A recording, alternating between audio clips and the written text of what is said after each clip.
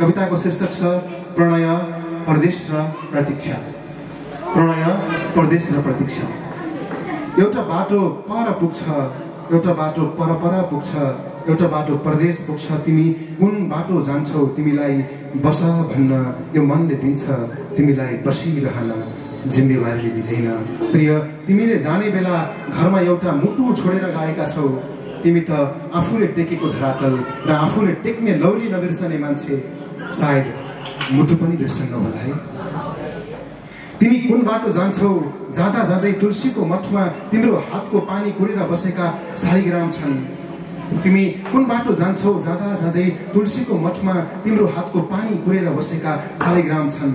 जाँदा जाँदै ढोकाको जल लगेर मठमा चढाइदिनु अनि नबिर्सनु अनि नबिर्सनु चढाउन एक सिक्का पैसा पनि। तिमी नआउन्जेल म यो एक सिक्काको पानीबाट मठमा शालिग्रामलाई पानी चढाइरहन्छु। तिमी त पैसा कमाउन पैसा चढाएर प्रदेश जाँदैछौ। तिमी त पैसा कमाउन पैसा चढाएर प्रदेश जाँदैछौ। अभिर नगर्नु साइडमा हिँडेको मान्छेलाई ढिला हुन्छ। अघिल्लो दिन साइडमा सारेको झोला तल्ला घरे धनसारेको टुलीमा छ। नबोली नबोली लिएर जानु पूर्व फर्कनु पछाडि नफर्कनु पछाडि फर्कियो भने हाँसो देखिन्छ घर देखिन्छ अगाडि फर्कियो भने तिम्रो गन्तव्य तिम्रो आँसु म बुझ्छु। मेरो आँसु तिमीले नदेख्नु सायदको बेला बिन्ती। आँसु देख्यो भने गाह्रो हुन्छ। मलाई गाह्रो हुन्छ। तिमीलाई गाह्रो हुन्छ। तिमीलाई गाह्रो भयो भने मलाई गाह्रो हुन्छ। जाँदा जाँदै बाटैमा पर्छ लालेश्वरको मन्दिर। नजिकै पर्छ हामीले पढेको विद्यालय। मन्दिरमा घन्टी बज्छ। तिमीले कसम सम्झनु। विद्यालय हेऱ्यौ भने तिमीलाई पक्कै सम्झना आउँछ। पहिलो प्रेम पत्र अक्षर अक्षर चिनेको ठाउँले नजानी नजानी पनि पहिलो प्रेम सम्झाइदिन्छ के आमाको काखपछि पहिलो प्रेमको उद्गम स्थल विद्यालय बन्न सक्छ?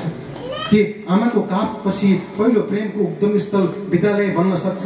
झुक्किएर बाहिर लगाएको माया जुठो हुन सक्छ। झुक्किएर बाहिर लगाएको माया जुठो हुन सक्छ तर बाहिर भुटेर राखेको मकै बासी हुँदैन।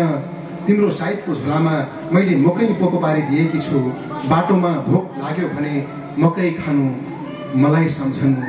बाटोमा भोक लाग्यो भने मकै खानु मलाई सम्झनु। परदेशमा अरू थोक लाग्यो भने मलाई सम्झनु। तिमीले सम्झियो भने मात्र पनि मलाई तिम्रो सम्झनाले हात भरिन्छ। तिमीले सम्झियो भने मात्र पनि मलाई तिम्रो सम्झनाले आँत भरिन्छ। तिमी गएदेखि नपुकुन्जेलसम्म मैले आँगनको डिलमा बसेर माथि आकाशमा उडेको जहाज हेरेँ। सबै जहाजहरूमा तिमी उडे जस्तो लाग्ने। सिसाबाट तिमीले हात हल्लाए जस्तो लाग्ने सबै जहाजहरूलाई मैले हात हल्लाइरहेँ। उष्मा बजारको दूर संसारमा तार आएपछि उष्मा बजारको दूर संसारमा तार आएपछि तिमी पुगेछौ भन्ने थाहा भयो। बल्ल म मूल ढोका लगाएर बसेँ किनकि जुन ढोकाको साइट गरेर तिमी गएका थियौ। तिमी नपुगुन्जेल। त्यही ढोका म कसरी बन्द गरौँ? प्रिय तिमी गएको पनि यतिका वर्ष भयो। प्रिय तिमी गएको पनि यतिका वर्ष भयो।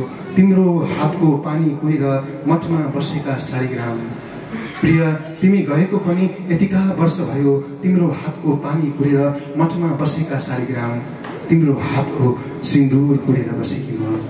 प्रिय तिमी आउँछौ नि है। प्रिय तिमी आउँछौ नि है। धन्यवाद।